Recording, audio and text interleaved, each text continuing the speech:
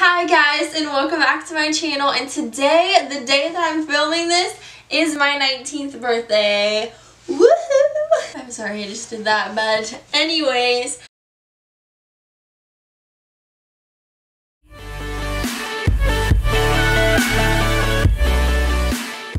Number one, don't compare yourself to people on social media because social media is just the highlights of our lives. It's not actually what's going on with us. I mean, for the most part, maybe Twitter is, but Instagram and all of those things are not actually what's going on inside of us. It's just the highlights, the things that we want people to see. So for me, I tend to compare myself to people on social media when I really don't have to because I don't know what they're going through on the inside. Just don't do that. Number two, self-care is essential. I didn't realize how essential it is, but I was really running myself dry before I went on my trip, just going, going, going all the time, and I didn't have any space for self-care. That is very important and we all need to make sure that we do that. Number three, quality over quantity. This is so true, especially what I learned with friends. And in high school, I just had a lot of friends, but they weren't very good friends.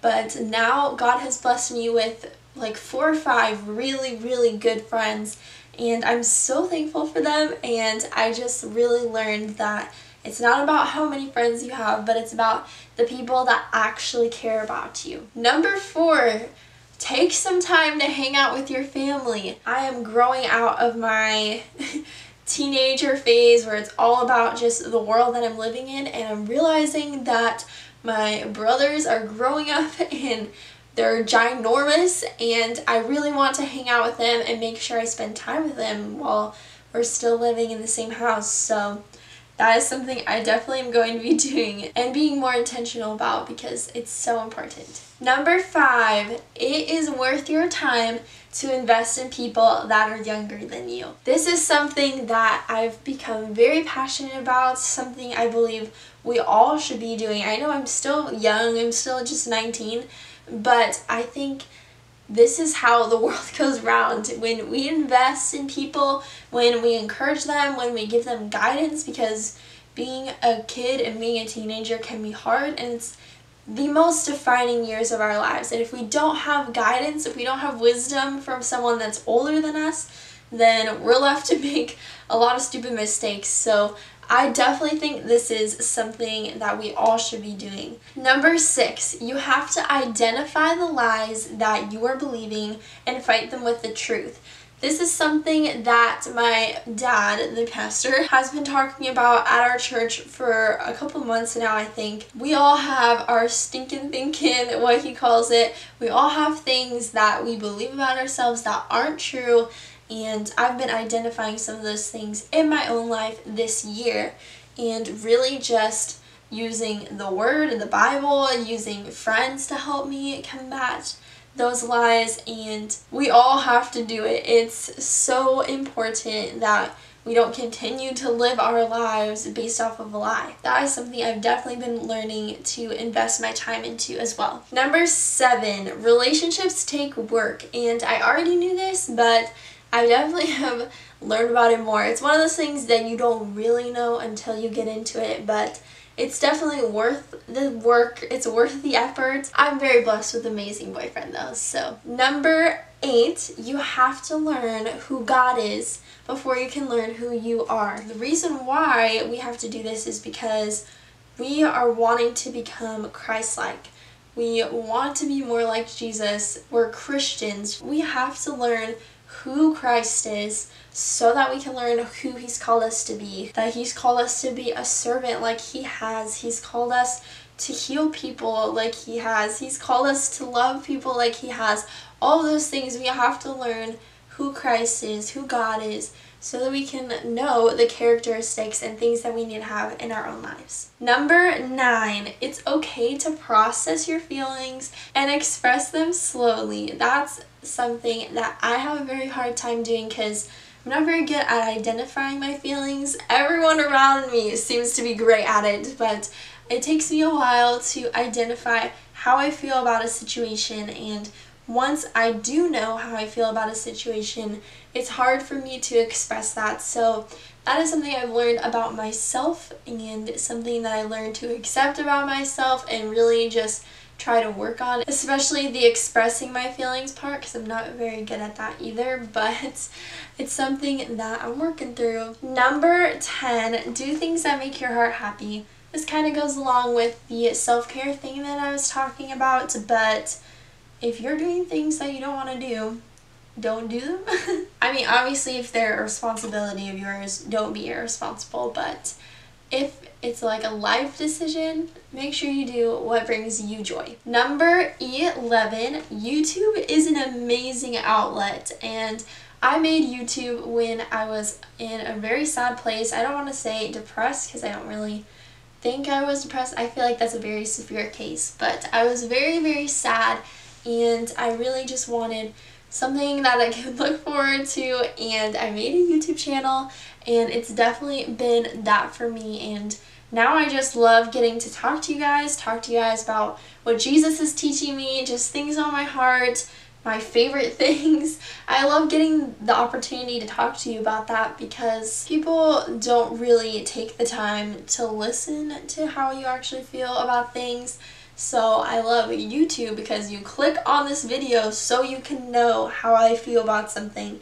So I really thank you guys to my 180 I think now subscribers. Thank you for subscribing and watching my channel. Number 12, we make time for things that are a priority to us. If I have a priority to make YouTube videos, I'm going to figure out how to do it despite my two jobs in school. I'm going to figure out how to make YouTube videos. Same with if I want to work out or if I want to spend time with Jesus, all these things I have to make sure they're a priority to me. The same goes for you guys. If school is not your priority, then you're not going to make time for it and you're not going to try to do well. So if you need to reevaluate your priorities, make sure you do that. Number 13, your life can look like how you want it to look like. Obviously, you do need Jesus' guidance and all of those things, but there's not a specific mold that our lives have to fit into.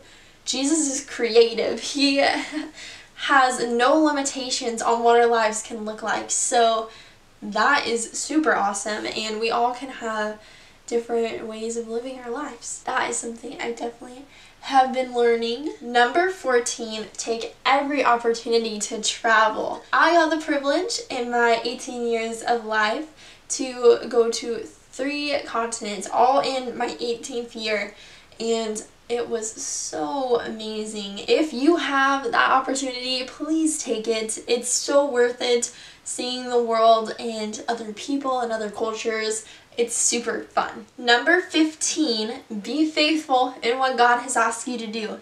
And man, has the Lord been teaching me this right now. I tend to get frustrated when other people don't have the same drive or the same motivations and intentions as I do. That's really not their fault. I have been called to work with youth. I've been called to lead worship, all those things, and some other people aren't called that way, so they don't have the same desire that I do. And God didn't ask me to be angry at them for not having that desire. God has called me to be faithful in what he's asked me to do and to do it well. That is probably the biggest lesson out of all of these. Number 16, reading is awesome. I kind of already knew this, but I've really been reading like every day now and it is definitely something that has benefited my personal life. I love to write, I love to read, I love words and reading every day has been something really cool. I've been reading The Maze Runner as you know from my favorites videos. Every time I read a chapter I like get lost in the book for a second and I don't think about anything going on around me and that's why I think we all should take some time to read. And read real books. Don't read Kindles and stuff. I hate those. Number 17. I love school and I'm not ashamed of loving school. I really love going to college. I love taking notes. I love homework assignments and having things to do. I just love learning, especially where I'm going to college. I'm learning so much about ministry and it just makes me so excited to do ministry. Number 18, God is pleased with me. I'm someone that is, like I said earlier, constantly working, working, working, and doing to do lists and all these things. I tend to feel like that people and God only appreciate me and love me and value me because of what I do. And that is obviously not true. It's something that I'm reminding myself all the time that God is pleased with me even when I just spend 10 minutes a day in His presence. He's pleased that I even want to spend time with Him.